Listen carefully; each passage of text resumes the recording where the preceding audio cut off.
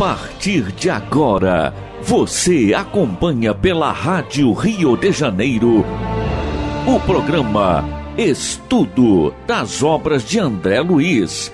Vamos refletir agora sobre o livro Evolução em Dois Mundos. Produção e apresentação Berenice Lima e Deusa Nogueira. Amigos queridos da Rádio Rio de Janeiro, hoje é um dia particularmente especial para todos nós, especial para mim em particular. Estamos iniciando o estudo da obra Evolução em Dois Mundos.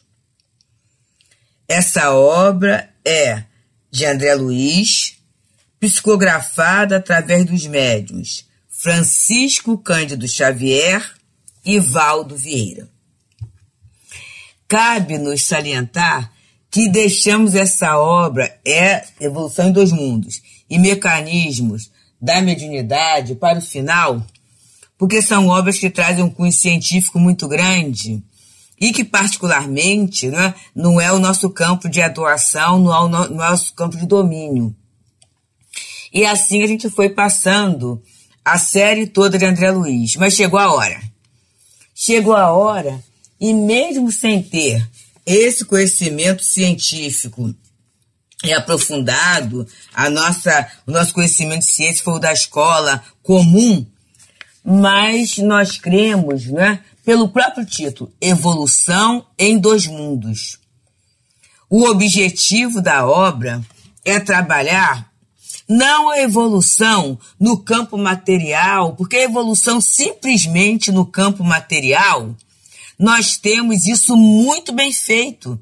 E a época em que André Luiz escreve a obra, já haviam as pesquisas geológicas, as pesquisas antropológicas, as pesquisas biológicas num bom ou no excelente andamento. Já havia isso. E hoje em dia, os companheiros, qualquer um que se, que se interesse pelo aprofundamento desses estudos, poderão consegui-lo através de livros excelentes, mas me perdoe é, colocar isso, através até de imagens. Tem imagens da evolução do planeta, das eras, tudo isso de uma beleza e de uma clareza. Uns legendados, outros com companheiros dando as explicações. Então é muito rico e é um aspecto do conhecimento humano emocionante, porque a gente só valoriza aquilo que a gente conhece. Para valorizar a criação de Deus, para valorizar o nosso planeta, para valorizar o nosso próprio corpo, é necessário né, que a gente comece a entender e ver quanto trabalho envolvido Quanto trabalho envolvido nessa vida estuante? Quanto trabalho envolvido? Mas, como nós falamos, é evolução em dois mundos. Então, estará sendo trabalhado o mundo material, o mundo físico e o mundo espiritual. E aí a gente pensou assim, bem, mundo espiritual, mundo espírita, é a grande revelação que a doutrina espírita vem trazer para todos nós, independente de titulação acadêmica, independente de conhecimentos é, é, é, é, anteriores. A doutrina vem com a clareza, inclusive essa, essa expressão é de Kardec. A clareza é da essência mesma da doutrina espírita. Então a doutrina vem nos trazer com muita clareza, com muita objetividade, a visão do mundo espiritual.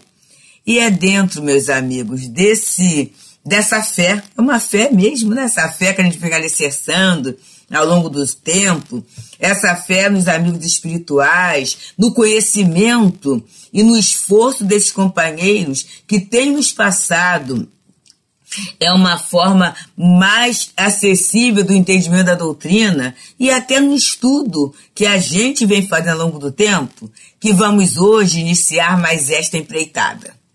Mas esse desafio. Contamos com as vibrações, com as preces, com o carinho que você, amigo ouvinte, sempre nos brinda, sempre nos brinda. É um mimo, é uma alegria do coração gente ter a audiência de vocês e o retorno de vocês a esse esforço de mantermos essa tarefa, que foi é, um desejo do nosso querido amigo, irmão Gerson Simões Monteiro, que ofereceu esse espaço de tempo para esse estudo da obra André Luiz. Começou a Berenice Lima, Berenice Lima com a outra companheira, com a Titibal no primeiro momento, no nosso lar. A partir dos mensageiros, já começamos Berenice Lima e eu, e a gente foi fazendo ao longo do tempo. E em virtude da pandemia, nós começamos a ter dificuldades de ir para a rádio ou de gravarmos juntas. E aí a gente foi no, no, exercício da fraternidade, do carinho, né? Estamos fazendo. Espero que, de repente, lá no determinado momento do livro, é, Bereja esteja liberada para a gente continuar essa empreitada juntos. Então, meus amigos, evolução em dois mundos. E ele começa trazendo conceitos de Allan Kardec, conceito doutrinário. E eu acho muito bom ser logo o primeiro movimento é, é, do espírito, o primeiro movimento de organização, porque a obra é espírita, a gente não pode esquecer. E talvez até para evitar devaneios, para a gente entrar em campo de cientificismo que são respeitáveis, são respeitáveis, são louváveis. Mas que creio que nesse nosso horário, nesse nosso momento, nessa, nova, nessa nossa meia hora de estudo que a rádio nos oferece, nós cremos que há um grande objetivo, que é ajudar a fortalecer esse projeto de renovação moral que todos nós, como espíritas, como cristãos, estamos é, nos, é, nos movimentando, vamos dizer assim. É o grande movimento de renovação moral. Para esse mundo de regeneração, que na verdade ele começa a partir da regeneração do ser humano. Então ele começa com conceitos de Allan Kardec. Esses conceitos foram indicados pelo próprio André Luiz, para que a gente jamais esqueça que é uma obra espírita. Não há aqui o exibicionismo, né? De conhecimento, de nada disso. É uma obra espírita. E aí a gente sempre lembrar do objetivo do Espiritismo na vida de cada um de nós, em particular, e da humanidade como um todo. Então, ele começa trazendo o livro dos Espíritos. A marcha dos espíritos é progressiva, jamais retrógrada. Então a gente começa a pensar nessa questão, né, bem interessante, para estimular o nosso bom ânimo. Porque quantas vezes, meus queridos, por a gente estar é, sendo massacrado de informações e o momento é de muita luta. Então, nem sempre as informações, ou dificilmente as informações, são as mais agradáveis, as mais animadoras. Pelo contrário, temos até as informações desestimulantes. E pode passar na cabeça de algum de nós assim: ah, eu acho que a coisa está indo de mal a pior. E do jeito que tá, a humanidade não tem jeito mais. Olha, esses espíritos que estão aí, tá todo mundo andando, andando para trás. E a gente pode achar, ter essa visão que é equivocada. Porque a marcha é progressiva. E aí alguns de nós podem falar assim, mas deusa, é tanta coisa errada, tanta coisa ruim acontecendo. Vamos observar uma coisa, queridos? Há um tempo atrás nós aplaudíamos o erro. Nós aplaudíamos o desacerto. Hoje em dia, nós já identificamos, nós já nos incomodamos e nós já fazemos movimentos para que essa questão equivocada possa ser corrigida. Então, isso é um grande progresso. Nós não estamos sendo mais massacrados pelo mal. nem coniventes com o mal. Já identificamos e suspiramos pela mudança. Isso é progresso. Porque primeiro eu penso, desejo, para a partir daí começar a angariar recursos, habilidades, conhecimentos para a realização das mudanças necessárias. E isto é progresso. E continua André Luiz citando um trechinho do livro dos médios que assim: No conhecimento do perispírito está a chave de inúmeros problemas até hoje insolúveis. É Kardec falando no livro dos médios e a gente tem que entender e naquele momento a gente ficava numa dificuldade muito grande, a ponto deles terem que comparar, assim como no fruto tem a semente, né? Tem a polpa, e tem, que é o perisperma, né? E tem a casca, assim também o homem, né? A semente, o espírito, a polpa, né? É, é, é, o, o, desculpa, a polpa, o perisperma, o perispírito e a casca, o corpo físico. Então, no entendimento do perispírito, que é esse grande organismo armazenador das sensações, que faz a comunicação entre o espírito e o mundo exterior, né, quer dizer, entre a semente e a casca, é que as, quanto mais a gente estudar, melhor vai ser. E digam os homeopatas, né? Os homeopatas que estão aí de plantão sabem muito dessa questão do perispírito, da atuação das substâncias no perispírito. No terceiro momento, André Luiz nos fala do Evangelho segundo o Espiritismo. E ele traz um trecho muito lindo. O Espiritismo mostra que a vida terrestre não passa de um elo no harmonioso e magnífico conjunto da obra do Criador. Então, amigos, olha essa visão, né? A vida terrestre é um elo no conjunto da obra do Criador. Quando eu começo a entender que é um elo, um elo é o que está ligando uma coisa a outra. Vamos começar a entender? O, a expressão elo é aquilo que liga um ponto ao outro, né? Ou alguma coisa a outra. Então a vida terrestre, ela vai tendo uma importância relativa. Não está sendo dito, a doutrina não diz que a vida terrena não é importante. Ela é importante sim. Mas é uma importância relativa. E quando eu vejo elo, eu tenho que ver o seguinte, né? Liga o que a quê? Olha aquilo que a gente falou do, do perispírito, né? Tá ligando o que a quê?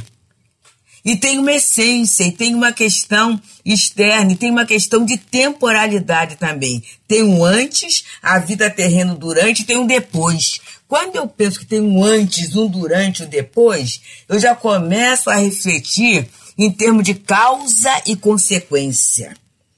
Eu começo a ver esse meu momento não como uma coisa única, como uma coisa estanque. Eu vou fazendo relação nas questões da minha vida. E sabe que isso é um hábito importante, meus amigos, até para a vida material? Porque às vezes eu começo a reclamar de determinado fato, de determinada postura de alguém, de determinada situação que eu cheguei, de determinado problema.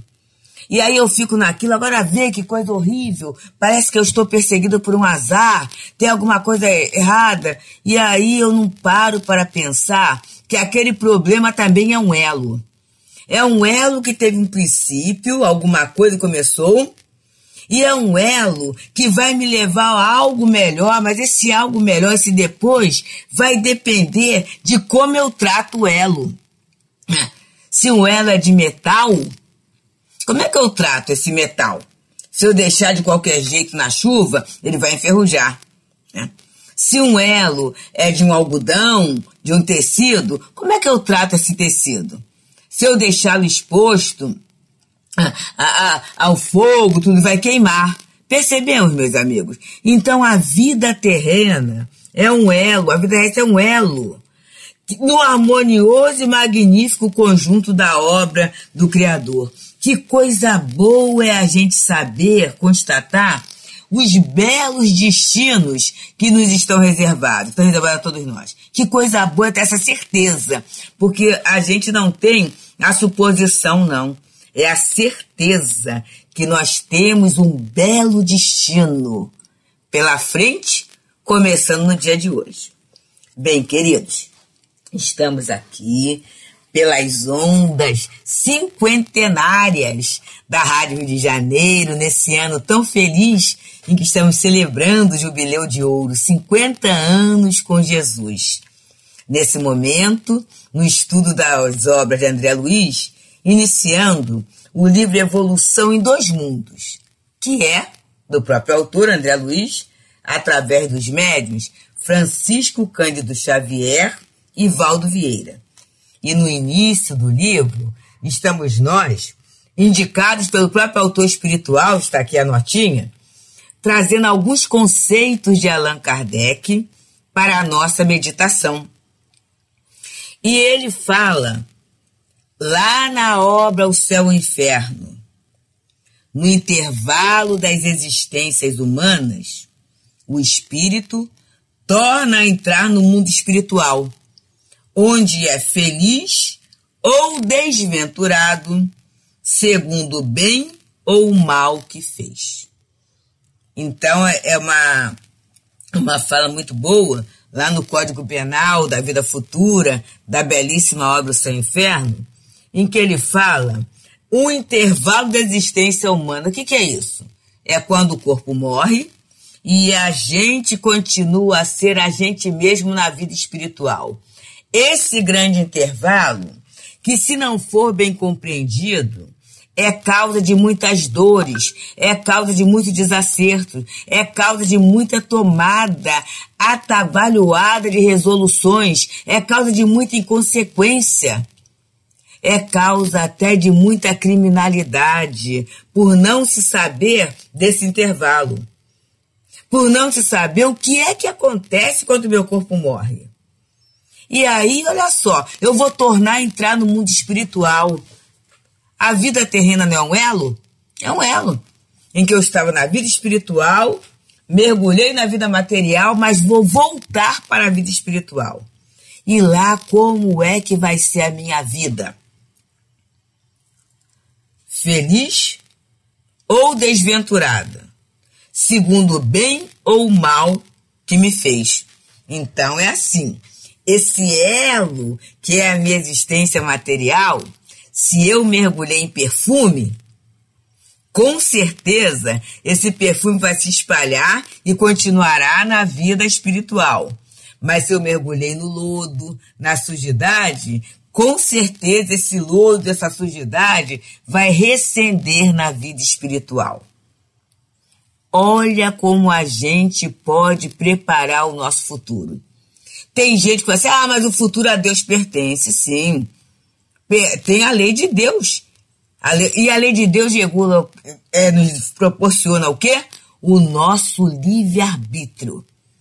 Então é através do uso da lei, do bom uso do meu livre-arbítrio, que eu estarei preparando, como diz a Maria Dolores, os, os mais belos destinos, né? Esse futuro generoso, grandioso equilibrado, feliz. Feliz, que é a proposta para o Filho de Deus, que é a proposta da lei de Deus. Como a gente sempre fala, a lei de Deus não é para punir. A lei de Deus é para nos educar para a felicidade. Olha como é que Deus é bom, gente. A gente está sendo educado para a felicidade. A felicidade de quem? A nossa felicidade. A nossa. Quer dizer, é oferecido todo o conteúdo, toda a possibilidade para nós mesmos vivermos bem. Todos os elementos para construirmos a nossa casa de paz, a nossa casa de esperança, a nossa casa de trabalho, a nossa casa de solidariedade. Para quê? Quem é que vai morar lá? Somos nós mesmos.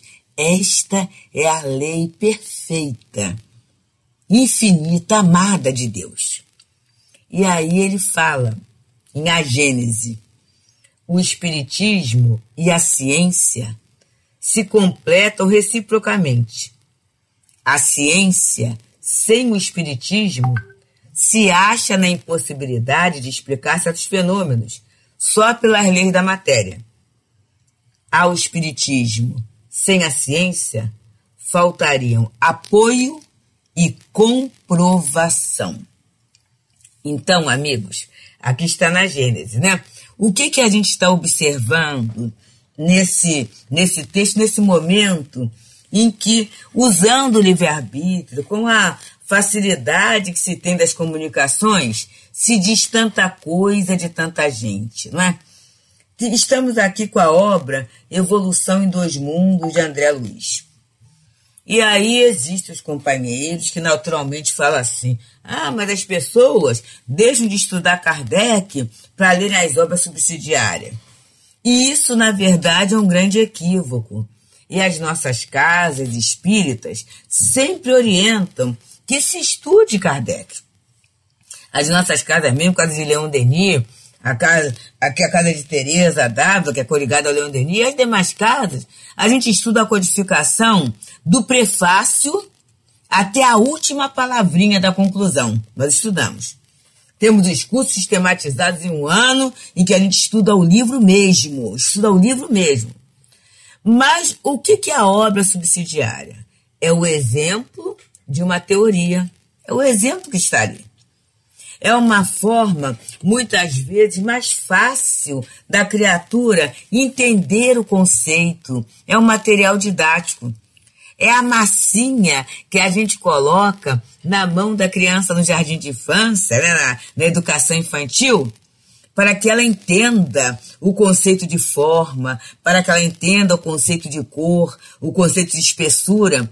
E fazendo isso, ela desenvolve a sua coordenação, sua coordenação visomotora. Vamos ver se nós não estamos também nesse grande trabalho de desenvolver a nossa intelectualidade e a nossa sensibilidade. Esse é o grande trabalho da, da nossa evolução. Esse é o grande trabalho do nosso entendimento, do nosso aperfeiçoamento. E nós temos, então, toda a codificação que é o marco, é o marco. Nada substitui a codificação, né? A não ser Deus, né? A não ser Deus. Deus é o máximo, né? E, e ai, Jesus, sim, a codificação, a doutrina espírita como consolador prometido, ela veio tornar clara a mensagem que Jesus trouxe, que na verdade, se nós tivéssemos entendido a mensagem de Jesus, não haveria necessidade de uma outra revelação. Mas a gente não entendeu, porque a gente quase sempre distorce de acordo com o nosso momento, com o nosso interesse pessoal. Não é por maldade, não, gente, é o nosso momento mesmo. E a gente acaba fazendo assim. Então a gente está vendo aqui, logo no início da obra, conceitos é, é, de Kardec, indicados por, por André Luiz, que foram trazidos de O Livro dos Espíritos a marcha dos espíritos é progressiva, jamais retrógrada. Do livro dos médios, no conhecimento do perispírito está a chave de inúmeros problemas até hoje insolúveis. Do Evangelho segundo o Espiritismo. O Espiritismo mostra que a vida terrestre não passa de um elo no harmonioso e magnífico conjunto da obra do Criador. Do céu ao inferno no intervalo das existências humanas, o espírito torna a entrar no mundo espiritual, onde é feliz ou desventurado, segundo o bem ou o mal que fez. E da obra A Gênese, o Espiritismo e a ciência se completam reciprocamente.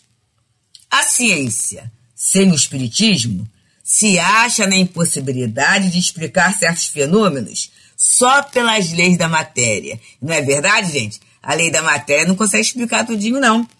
Então, é, a, a verdade espírita ela vai ampliar a compreensão de certos fenômenos que a ciência materialista não consegue dar. E ao espiritismo sem a ciência, faltariam apoio e a comprovação. E a gente vê que o Espiritismo é toda uma ciência de observação, de análise, de comparação, né? de catalogação, de síntese. De que fenômeno? O fenômeno da vida, o fenômeno da vida do espírito imortal. Então, amigos, que sejamos todos bem-vindos a mais esse livro da obra de André Luiz, Evolução em Dois Mundos. No próximo programa, continuaremos, e aí já com uma anotação, uma anotação feita por Emmanuel, que a gente possa estar junto e que todos nós possamos ter um dia de muita paz, muito equilíbrio, muita reflexão e muita gratidão a Deus pela oportunidade. A Rádio Rio de Janeiro apresentou programa Estudo das obras de André Luiz.